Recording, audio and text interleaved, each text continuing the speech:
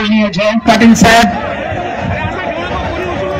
ज्यांनी या महाराष्ट्रात वातावरण तयार करण्यासाठी दररोज सकाळी नऊ वाजता एक तोफ दाखतात. ते महाराष्ट्राचे फायर ब्रँड नेते संजय राऊतजी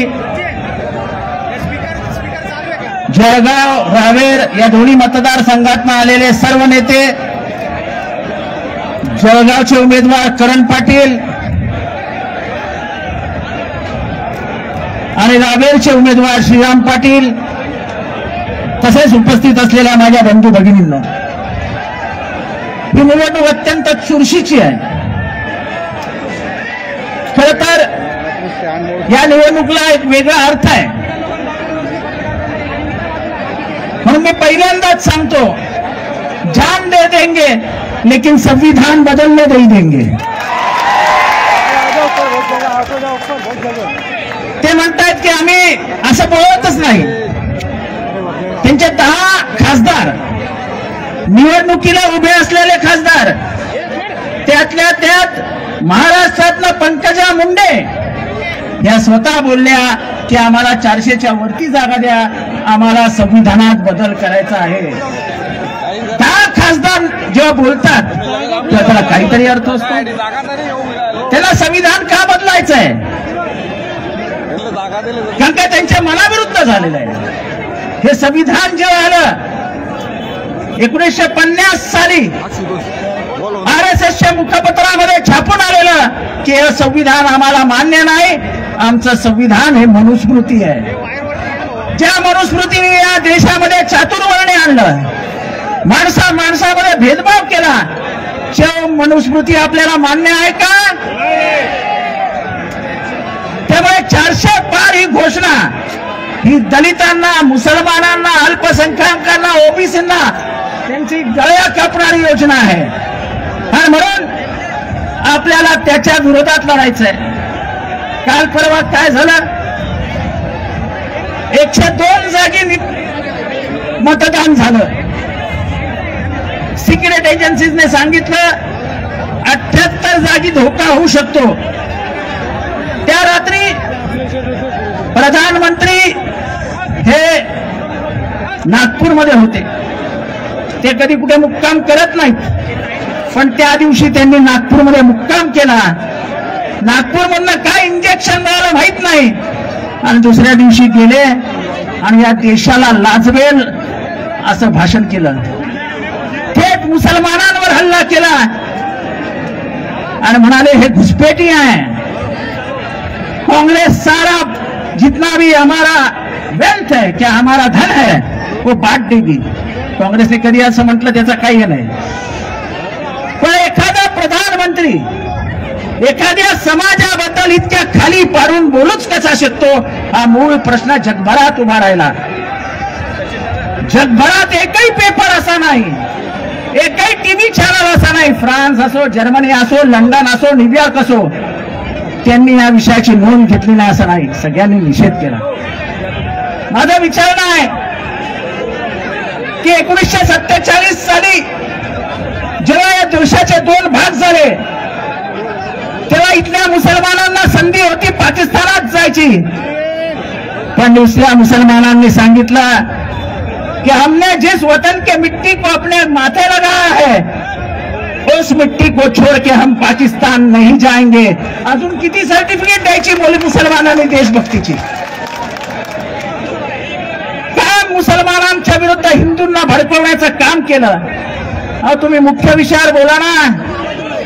तुम्ही काय सांगितलेलं? दोन कोटी नोकऱ्या देऊ. दोन लाख नोकऱ्या दिला तर बोला. तुम्ही सांगितलेलं महागाई कमी करू. महागाई कमी झाली का तुम्ही सांगा. माहिती आहे आपल्याला तरी भाषा पण समजत नाही काय ते बोलतात ना. थ्री ट्रिलियन काहीतरी इकॉनॉमी इकॉनॉमी आपल्याला नाही समजत आपण अनपड माणूस आहे. पण जेव्हा पुस्तक वाचतो तेव्हा दिसतो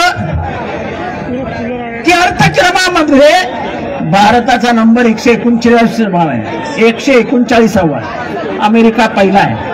काहीतरी फेकतात. इथे काय हरत आहे? केळीच्या शेतकऱ्यांची. इथे काय हालत ते कापसाच्या शेतकऱ्याची. मला आठवतं आमचं सरकार होतं तेव्हा. इथेच आमचे बॉडीगार्ड मित्र हे उपोषणाला बसले होते. आणि तेव्हा काय सांगितलेलं? बारा हजार रुपये भाव पाहिजे कपासीला सांगितलं होतं की नाही?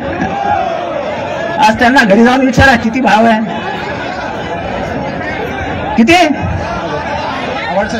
पोलिसांची विनंती आहे स्टेज. वरती जास्त आहे. आवड साहेब विनंती. म्हणजे इथल्या खेळ्यांना खतम. इथल्या कपासीला खतम. मेऊंची बोरं तर आता दिसेनाशीच झालेली आहेत. मग केलं काय?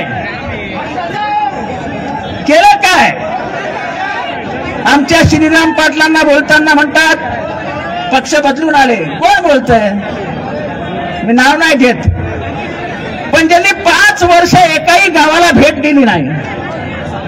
ज्याने पाच वर्षात एकही मोठं काम आणलं नाही. ज्याने पाच वर्षात एकदाही उठं राहून भाषण केलं नाही.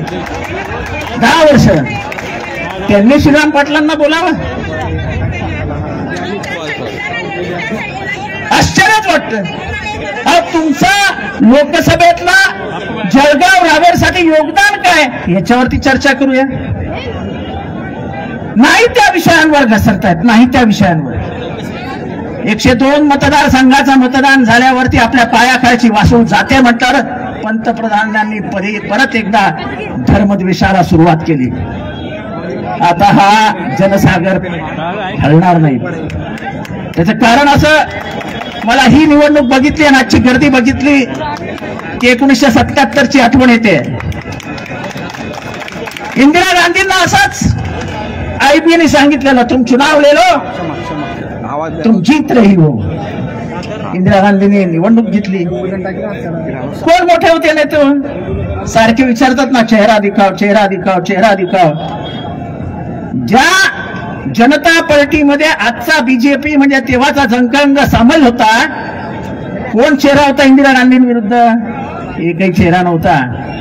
पण जनतेने निवडणूक हातात घेतली आणि स्वतः इंदिरा गांधींना हरवलं.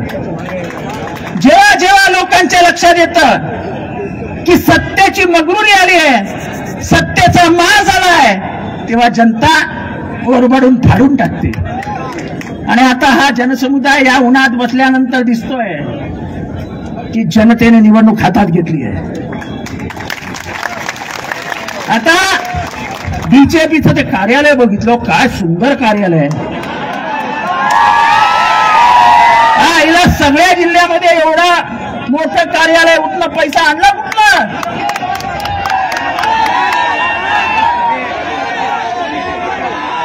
आणि सर्वात महत्वाचं म्हणजे इतके घाबरट आहे तितके घाबरट की दोन पक्ष फोडले महाराष्ट्रामध्ये दोन जणांना गद्दारी करायला लावली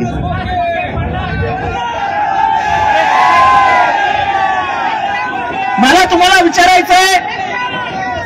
आणि ओरडून सांगा तुम्हाला गद्दारी बद्दल राग आहे की नाही? पोचत नाही पोचत नाही आवाज पोचत नाही. अरे सला ज्या उद्धवजींनी आपल्या हातातले सगळे अधिकार शिंदे साहेबांना दिले होते एकनाथ शिंदेना दिले होते काय फळ मिळालं त्यांना? जय जळगावात किती जणांना आले? जळगावात किती जणांना आले? पाच जणांना म्हणजे अडीचशे कोटी आले तिथे. आणि एक तुमचा माणूस आहे केस नसलेला. तो तर लय बोलत असतो आपण काय कोणाचं नाव घेत नाही? पवार साहेबांच्या तर घरातच फूट पडली. अरे काय तर म्हण- काय तर म्हणे शरद पवार हे हुकुमशहांसारखे वागतात. हे कोणी बोलावं? अजित पवारांनी. म्हणजे ज्या अजित पवारांनी प्रेमाने बोलताच येत नाही ते अजित पवारांनी सांगा शरद पवार हुकुमशाह आहेत अरे एकीकडे जयंत पाटील साहेब शरद पवारांचा चेहरा बघितला त्यांचा हसका हसरा चेहरा बघितला की सर्वसामान्य शेतकऱ्यांना केलेली बहात्तर हजार करोड रुपयाची कर्जमाफी आठवते आणि तुम्ही कुठेही गेलात आणि अजित पवारांना बघितलं की शेतकरी म्हणतात सदर हजाराचा सिंचन घोटाळा. हा दोन पवारांमधला फरक आहे. एक स्वतःसाठी जगतो आणि दुसरा महाराष्ट्रासाठी जगतो पंचवीस एक्क्याण्णव साली खासदार झाल्यानंतर एक्क्याण्णव साली खासदार झाल्यानंतर पंचवीस ते तीस वर्ष अजित पवार मंत्री होते. कोणामुळे होते? ते खासगीत पत्रकारांना काय सांगतात? की दोन हजार चार साली त्यांनी दिल्लीतल्या एका पत्रकाराला मुलाखत दिली. तो पत्रकार माझा अतिशय जवळचा मित्र आहे. तुम्हाला मला चहा पित असताना मला म्हणाले की शरद पवारांनी मला डावललं. दोन हजार चार साली मला मुख्यमंत्री होऊ नाही दिलं. का तुलाच का मुख्यमंत्री करायचं? का तुमच्यापेक्षा जास्त शिकलेले जयंत पाटील मुख्यमंत्री पदाला योग्य नाही आहेत? तुमच्यापेक्षा अनुभवी असलेले त्यावेळेस शहरार पाटील योग्य नव्हते? मग तुम्हाला देऊन शरद पवार घराणेशाही चालवतात. लोकशाही मानत नाहीत. हे महाराष्ट्राला एक उदाहरण घालून द्यायचं होतं का? नाही. आमच्या सारख्या सर्वसामान्य मागासवर्गीयांच्या पोरांना इथपर्यंत आणण्याचं काम हे शरद पवारांनी तुम्ही यांचा नियोजन खात्याचा अर्थसंकल्प मागच्या पंधरा वर्षाचा तपासून बघा.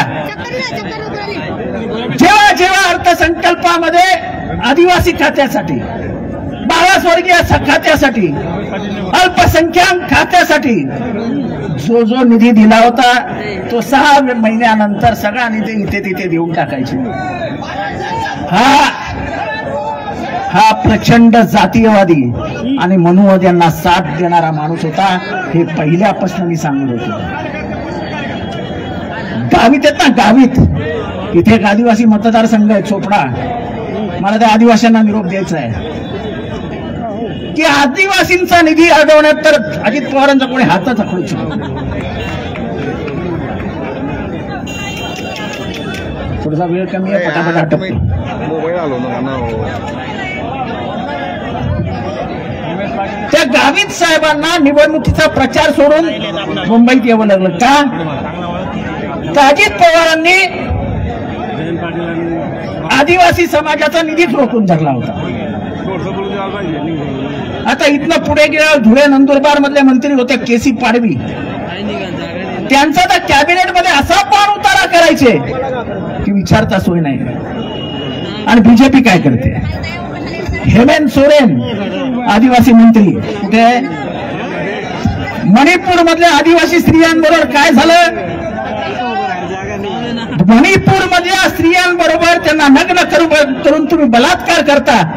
आणि स्त्री सक्षमा सक्षमीकरणाचा आवडता तुम्ही काल जाहीरनामा जाहीर केलात. आणि त्याच्यात म्हणालात की आम्ही जाती गणना करू जाती जनगणना करू. तुम्ही देवेंद्र फडणवीसांची परवानगी घेतली आहे का? कारण का देवेंद्र फडणवीस म्हणाले आमच्या एजेंडामध्ये जातीय जनगणना नाही. तुम्ही लिहिला आम्ही सेक्युलर आहोत. आम्ही फुले शाहू आंबेडकरांचे आहोत.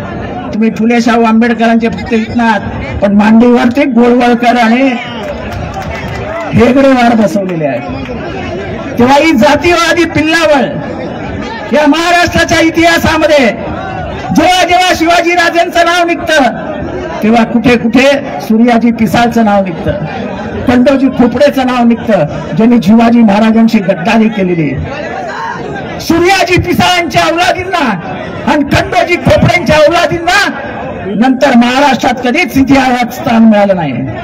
ज्यांनी ज्यांनी महाराष्ट्रात गद्दारी केली आहे ज्यांनी ज्यांनी महाराष्ट्रात गद्दारी करण्यासाठी परावृत्त केलेलं आहे त्यांना पुढे चाललेलं आहे त्या सगळ्यांना आसमान दाखवा. ही गद्दारी रावेरमध्ये आणि ही गद्दारी जळगावमध्ये चिरडून गादी गाडून टाका. एवढाच सांगतो रजा घेतो.